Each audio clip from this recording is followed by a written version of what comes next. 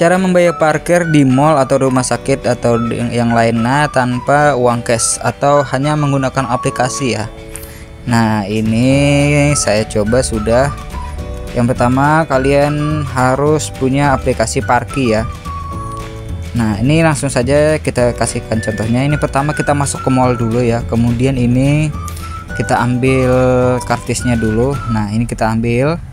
Kemudian langsung kita masuk mallnya oh ya ini sambil kalian download ya aplikasi Parki ya nah nanti kita hubungkan dengan GoPay, Oppo atau ShopeePay. Nah, ini saya sudah punya aplikasi Parki.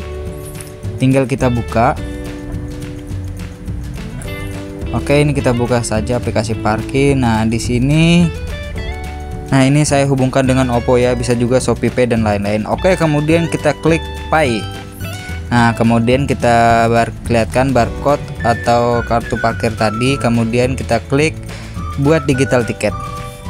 Oke jika sudah klik buat digital tiket maka tinggal eh, kita kasihkan saja ke eh, bagian keluar. Nah contohnya seperti ini ya.